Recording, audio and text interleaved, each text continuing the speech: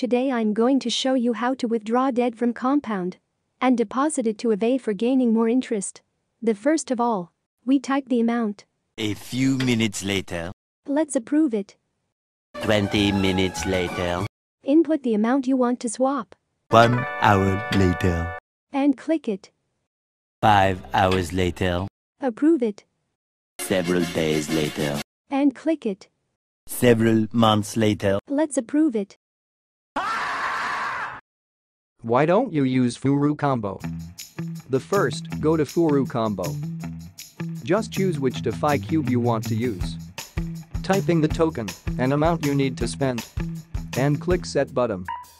Typing initial amount. Review your all DeFi cubes. Click it.